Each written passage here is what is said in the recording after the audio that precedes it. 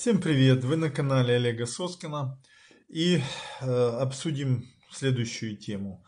Это в Украине разворачивается следующая серия Вагнергейта, расследование Беллингкэта о том, что была операция, ну текстовая пока часть опубликована, что это была серьезная операция, проходившая очень успешно.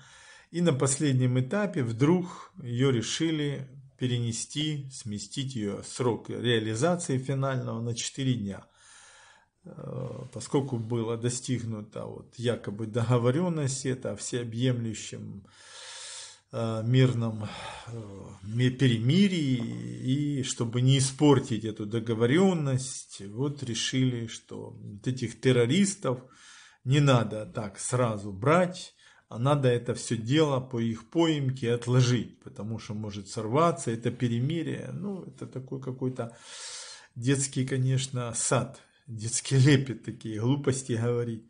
То есть террористы есть? Есть. Они убийцы? Убийцы они э, осуществляли действия против суверенной Украины и украинских граждан, да, осуществляли. Их подобрали среди многих, да, их, э, так сказать, идентифицировали, да, верифицировали, да. Ну так в чем проблема? Тогда давайте то есть кто, кто дал приказ? Ермак дал приказ. Значит, на каком основании? Он не мог дать. А офис говорит, он не мог дать. Тогда если не он дал, ну он правильно, он не мог дать. А если не он дал, то кто? А если пришел какой-то приказ, тогда надо выяснить, почему те, которые якобы его получили, стали его реализовывать. Приказ был письменный или устный? От кого он поступил?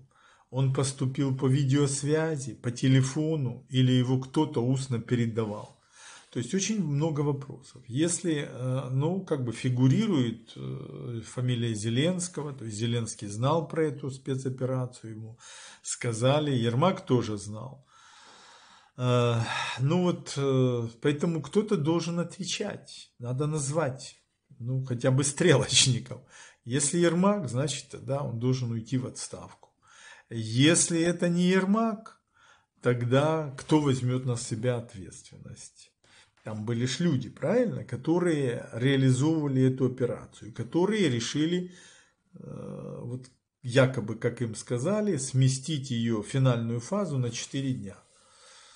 Пусть тогда скажут, как это происходило, кто это делал. Это как не мож, невозможно теперь до конца установить, кто дал приказ расстрелять э, мирных э, протестантов во время революции гидности. 113 человек убили, вот, а кого-то как бы реально ответил кто-то за это массовое убийство. Что-то я так и не понял.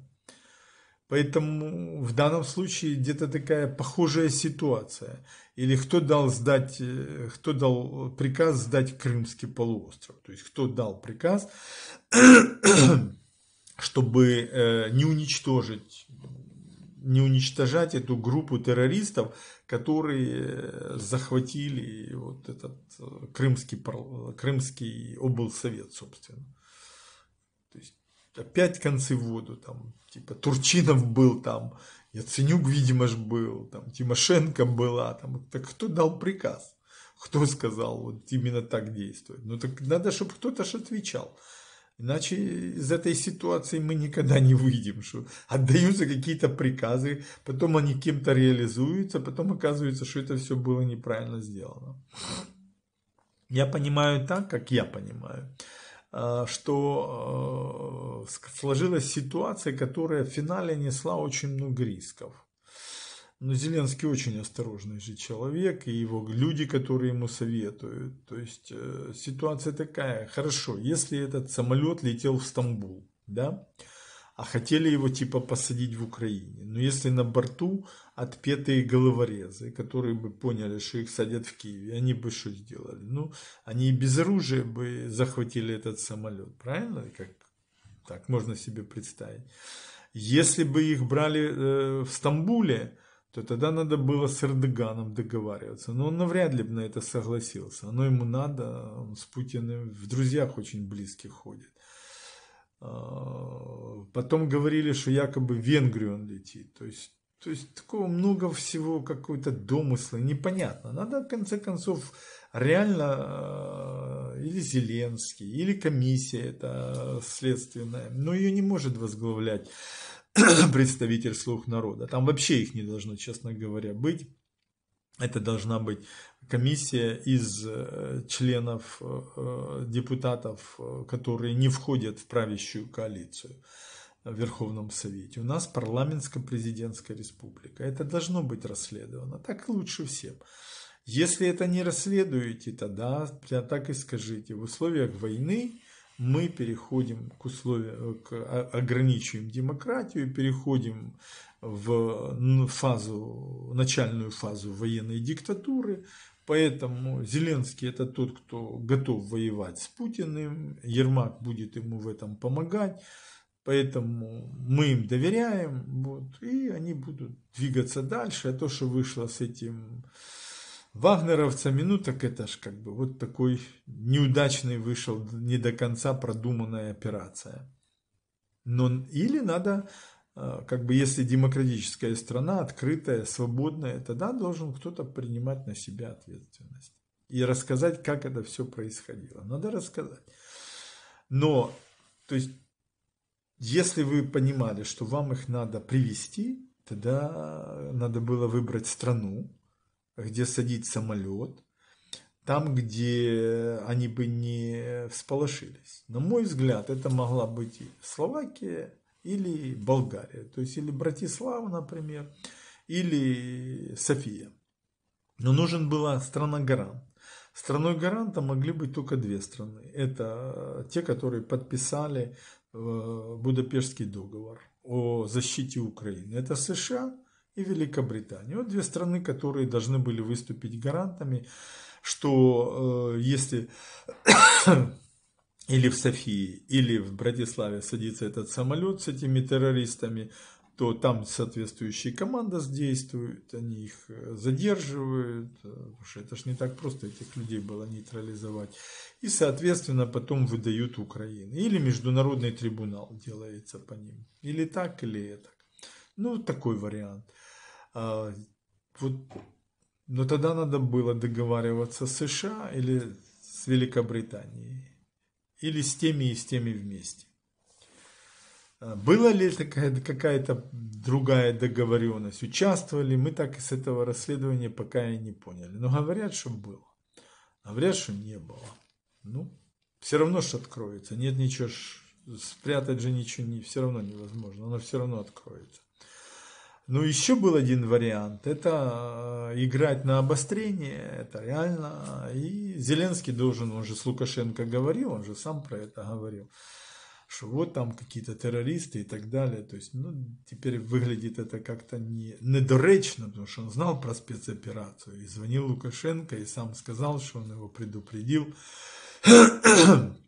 Тогда надо было высылать туда генпрокуратуру и СБУ, и, соответственно, представителя от Кабмина, хотя бы первого вице-премьера, и договариваться с Лукашенко, чтобы он выдал этих террористов, показывать их список преступлений.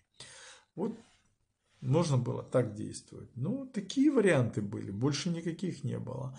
А то, что сделали, ну, это ж я говорю, это чистый детский сад, это как в песочнице что-то там наваяли этими пасками, наваяли, а потом вот это все маленькие дети в коротких штанишках, такое, так все это испоганили.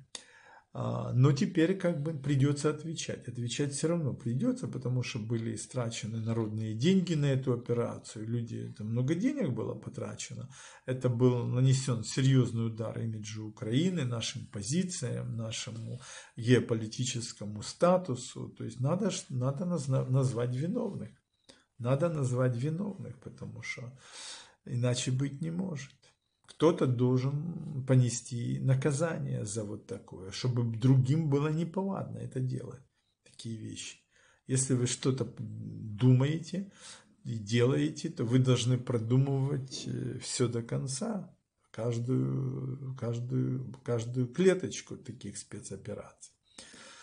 Но э, ситуация будет, э, то есть она ударит по-любому по рейтингу Зеленского и по слугам народа, это однозначно произойдет, потому что э, тут э, видно очень такие дилетантские, неквалифицированные, э, можно сказать, глупые действия, которые были сделаны властью. Зеленским, там, Ермаком, кем, но они должны сказать, кем. В принципе, Зеленский мог это перевести, ну, тоже же вопрос это как бы ему не подчинены были, СБУ там и так далее. Но в принципе этим мог бы заниматься и кабинет министров, должен был бы премьер заниматься этим. То есть э, ситуация оказалась, э, фактически вышла из-под контроля. Конечно же, надо было солидарно работать с нашими союзниками, гарантами США и Великобритании. Этого не было сделано.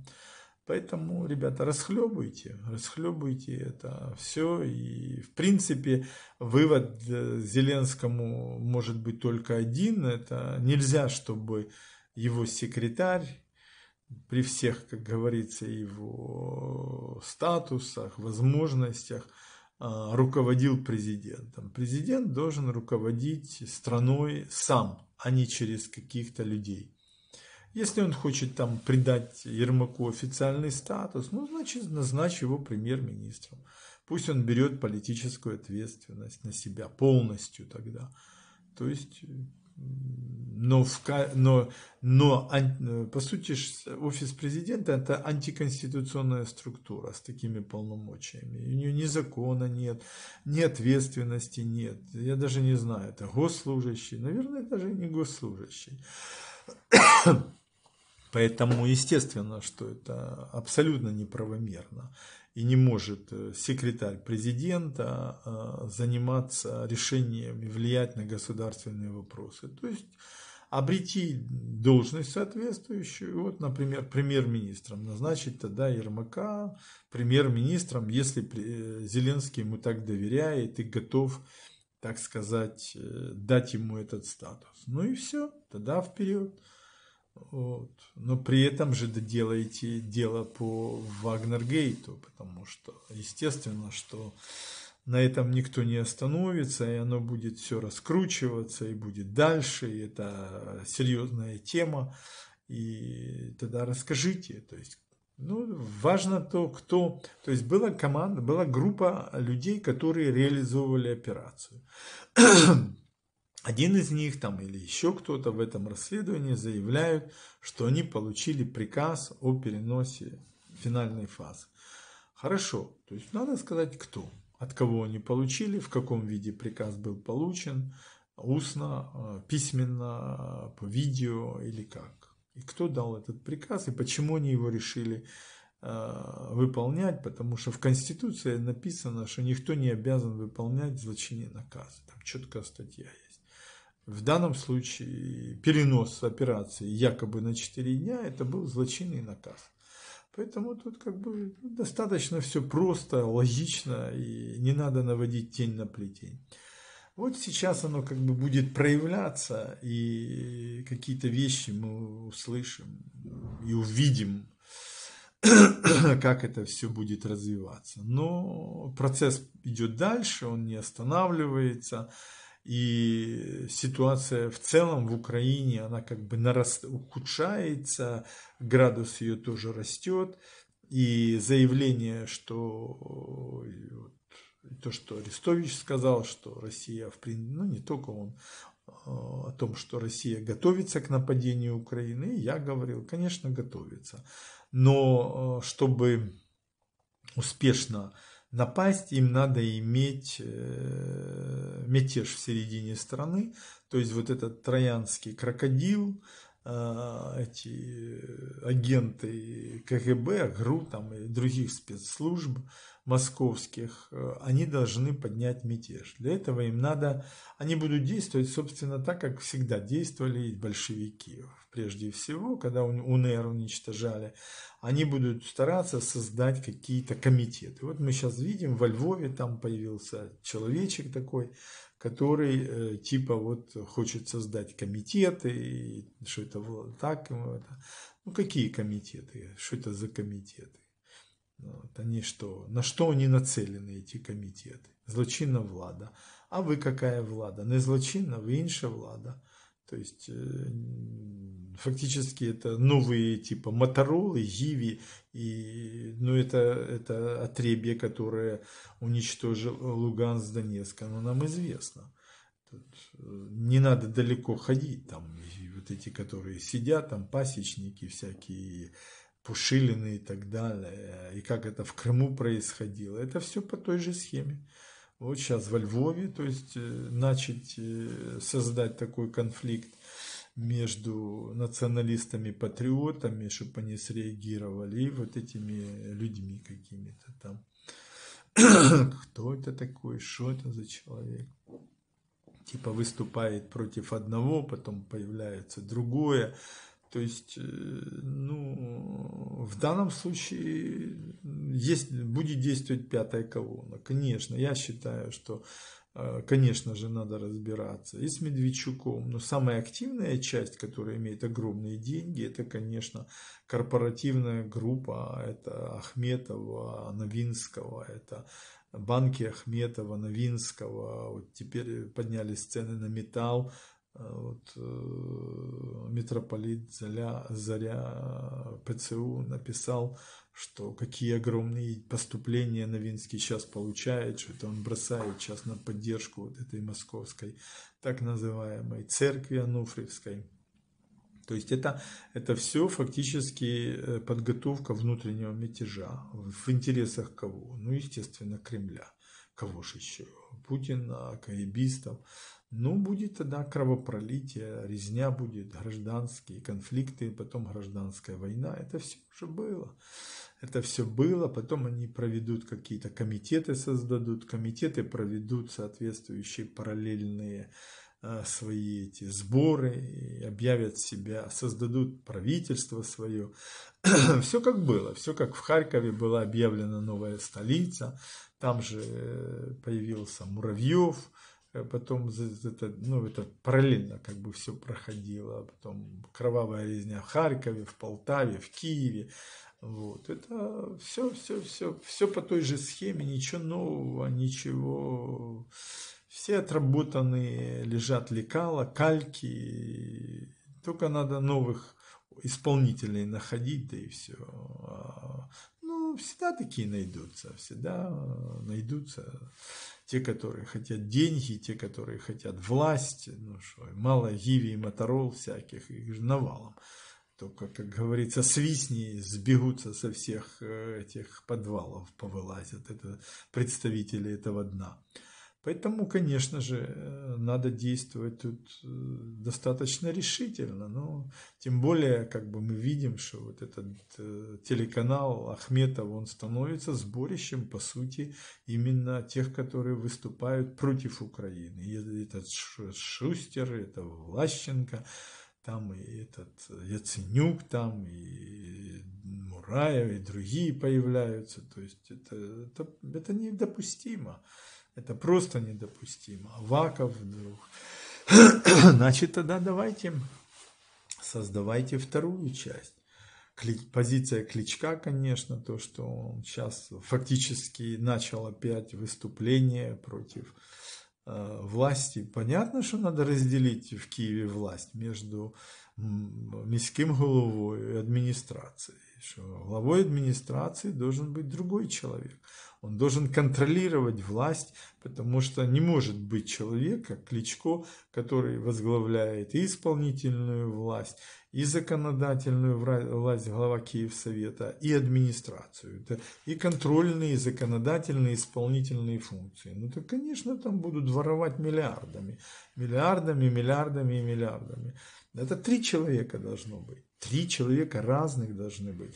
И если он исполняет, если он э, исполнительная власть, то главой Киевсовета должна быть другая фигура. Потому что иначе коррупция, мафия формируется, взятки формируются, бандитизм формируется. Это реально, ни один человек не должен совмещать столько постов. Это реальная, как бы это реальные, это реальная аксиома любой системы управления. Нельзя в одном человеке объединять все функции управления, контроля, законодательной власти и исполнительной власти. Он обязательно будет воровать он будет обязательно расставлять своих людей, чтобы получать бандитскую ренту. Это, это аксиоматично, это не подлежит никаким сомнениям. Поэтому ясно, что Кличка надо, надо принимать изменения в закон, надо ограничивать, надо его разделить. Он, фактически это как трехглавое э, существо, которое сегодня все, всем ведает в городе Киеве, и нельзя сказать, что это все успешно. Поднятие цен до 20 гривен на общественный транспорт – это вообще безумие. Это полное безумие. Ну тогда кто выгодополучатель? Вы же определитесь, кто выгодополучатель. Там Хомутынника называют, который вообще никогда не тонет. Я помню, он еще как при Януковиче появился, так все и живет, и развивается, и растет, и, как говорится, все ему на пользу, все ему на пользу. Поэтому тогда, как он там, близкий был сыном Януковича Хамутыник, ну, рассказал бы, как он там с этим сыном там старшим, что он делал с младшим, как они там, деньги, кто его папа, какой он был, как он близок был э, к Януковичу, там, чем они занимались, там, ювелирными изделиями, золотом, бриллиантами или нет, или как. Ну, так рассказал бы, чтобы народ же знал, как это все э, в конце концов э, устроено, внутренности хомутынника. Надо же знать, а что штука. Вот. Здесь Кличко рассказал бы, что там с рыбкой стало на улице Франка, что он приезжал, вот этот э, товарищ из Голландии, как его убили, кто его убил, за что его убили, почему его убили, получали деньги, не получали деньги, вот, были торпедами, не были у него торпедами. То есть какие-то вещи надо рассказывать, чтобы народ знал истоки. Если он не знает истоки, как он может знать? Не дает плохое дерево хорошие плоды. Нет такого, нет. Не бывает такого. Не растет виноград на терновнике и смоквы на репейниках. Ну, не растут. В Евангелии читайте, там все написано. Поэтому по плодам узнаете их, по плодам. Надо узнавать эти плоды. Медведчука плоды он, мы видим, сколько этого всего. Видим плоды этого Кахметова, Новинского плоды. Но так, в конце концов, это нам на на користь, чи це нам веде до нашої біди, чи це призводить до втрати нашої національної гідності, незалежності, пограбування, знищення, геноциду. Надо определяться с этим. А как иначе? А как иначе? Иначе нельзя. О, там Особенно, я думаю, надо разбираться с Яценюком. Обязательно надо. Просто э, контрольная палата, прокуратура, СБУ. Надо открывать э, полностью дело во время, когда он был премьером. Вот надо открыть проект «Стена» обязательно, бюджет. Как был использован бюджет на эту стену, когда э, он только стал премьером, когда это деньги были забиты. Надо открыть их, надо роль Авакова в этом понять. Есть же это все, это все есть, потому что э, Яценюк, он говорит, что он там честный, открытый. Ну, надо, надо Сбербанком заниматься, где его там вот такой тоже, говорят, товарищ его или как возглавлял. То есть, были ли злоупотребления, какие, а какие какая была схема э, Яценюка с той же Натальей Рейсько, а, были ли как-то, был ли как-то он связан с Медведчуком, как он с Кучмой связан, Яценюк. отмывались ли деньги, в каких объемах. То есть это все надо выяснять.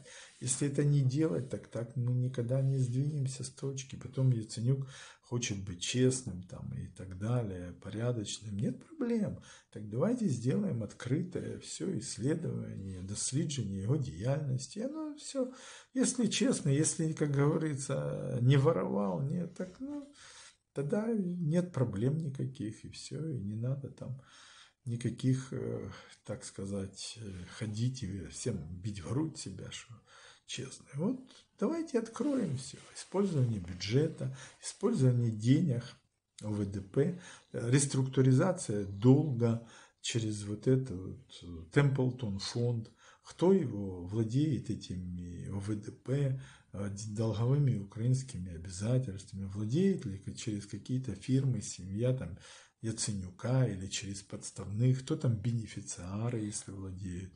Вот. Ну, то есть, чем проблема? Проблемы вообще никакой нет. И все станет на свои места. Э, связан ли Яценюк с Ахметовым? Является ли он у Ахметова выгодополучателем? Является ли Ахметом офицером КГБ или ГРУ? Проходил ли он практики? Какие? В каких лагерях вместе с Новинским готовился? То есть, что за проблема? В чем вопрос? Убивал ли Ахметов Женю Щербаня и причастен ли к смерти Ахатя Брагина? Вот. Были потом убиты там десятки людей, трупы которых были найдены. Причастен ли к этому Ахметов? Не причастен к этому Ахметов. Что за проблема, ребят? Никаких вопросов. Таруту надо исследовать. Он кто такой, а какими он вещами занимается. Как бы все достаточно прозрачно. На сегодняшний день это все легко что выясняется. Поэтому вот, наверное, но для того, чтобы человек как бы находился в нормальном таком статусе, надо его немножко как бы, э, так сказать, опустить на землю. А опустить на землю это тоже, ну зачем ему этот телеканал? Он ему не нужен. Зачем ему банки? Они ему не нужны. Зачем? Или Новинскому. Зачем ему Гоки? Это народное богатство. Почему он только там 3 доллара платит или сколько за тонну руды? Как это с нашей руды такая низкая плата рентная? Это очень низкая рентная, э, так сказать, горная рента, вообще копеечная. На каком основании? Кто он такой, чтобы э, такие прибыли получать? То есть это, это простые вопросы. Это совершенно, это э, вопросы жизненной важности для Украины сегодня, потому что э, иначе тогда взращивается вот этот троянский крокодил, который работает в интересах Кремля. Вот о чем речь идет. А почему они должны служить Кремлю? Э, Путин же вокруг себя не имеет тех, которые служат Украине. Почему в Украине должны быть те, которые служат Путину? Это тоже несправедливо, это неправильно. Это абсолютно неправильно. Ну, посмотрим, как бы будем видеть, как это все будет развиваться.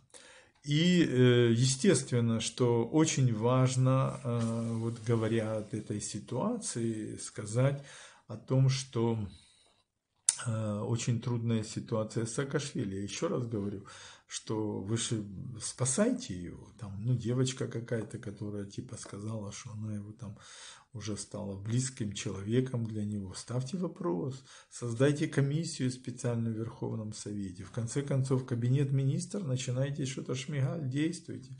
Вот. Слуги народа, Рахами, ну, что, что за проблема? Обращайтесь в ЕС, там есть Иванишвили, есть это премьер-министр, есть президент, что значит, надо вводить против них санкции у Иванишвили. Он там 153 место в мире занимает по богатству. Там типа почти 5 миллиардов долларов. 4, это половина Ахметова, да, 4,8. Там у него и металл, и банки, и аптеки, и что хочешь в России есть. Вот такой прямо Иванишвили, такой богатый, такой удачливый, такой все. Но, а Саакашвили же этого всего не имеет, кстати. Вот он, тут еще вообще страшные диагнозы. Это то, что прочитать эти диагнозы, так это вообще как человек еще, ну, слава богу, еще живой. Это в любой момент он просто может уйти в мир иной. Вот, и просто надо бить в набат спасать его. И это тоже будет, то есть э, Путин его ненавидит. Зеленский должен понимать, что фактически вот на примере Саакашвили он должен видеть, да и Порошенко, что вот так э, он, Путин сделает и с Порошенко, и с, с этим э, Зеленским то же самое. Саакашвили э, это для Путина это как бы э, это ритуальная жертва. Он его хочет принести в жертву. Он хочет всем показать, как он будет уничтожать своих врагов чужими руками.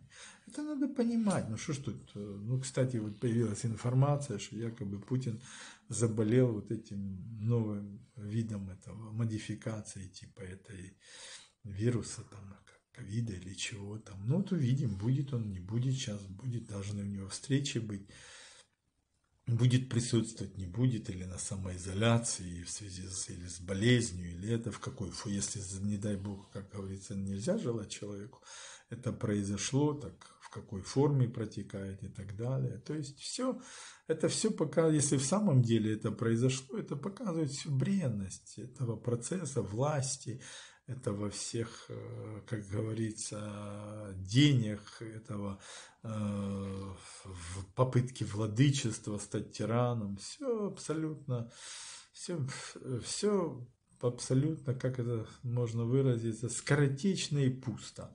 Пусто, просто вот, жизнь человеческая все равно находится в руках Господа Бога, поэтому не стоит э, стремиться быть Богом, это, это однозначно. Ну и вот увидим, оно же как бы все будет проявляться, и э, трудно быть ледоколом. Трудно быть ледоколом, это ж всегда трудно. Да и не надо им быть, зачем быть ледоколом? Им дал Бог все, что дал. Ну и есть, радуйтесь. А зачем еще? Надо уйти с Украины, надо Крым отдать надо уйти с Луганска, Донецкого анклава. Надо просто... Все это проблемы у них начались, когда они загарбали часть Украины. Так они более-менее жили себе, все. А начали делать неправедные вещи. Вот и получается. Ну, может, я ошибаюсь. Посмотрим. Как говорится, недолго этому всему длится. Процессы очень быстро сейчас развиваются, очень динамично. Так что как бы вся ситуация закручена, и вот она дополнилась теперь вот этим текстовым материалом по Вагнергейту, естественно, дополняется тут тебе и Саакашвили, тут тебе и внутренние столкновения, тут тебе уже народ подключается, и у Кличка проблемы начинаются. С другой стороны, Кличко вроде как с Порошенко тоже хочет сделать действия какие-то против Зеленского. То есть, э, как говорится, все это скручивается в какие-то такие очень жесткие модели противоборства. Ну, естественно, такого давления на Ахметова вообще никогда, да, я не помню, чтобы было. Вот, всегда у него было такие огромные преференции при Кучме, при Порошенко, при ну, Ющенко немножко хуже было, при Януковиче так вообще в шоколаде он был, вот весь донбасский баронат. Ну вот теперь ситуация изменяется, резко меняется, но будем смотреть, как это все будет развиваться. Всего доброго, вы были на канале Олега Соскина, ну и до новых встреч.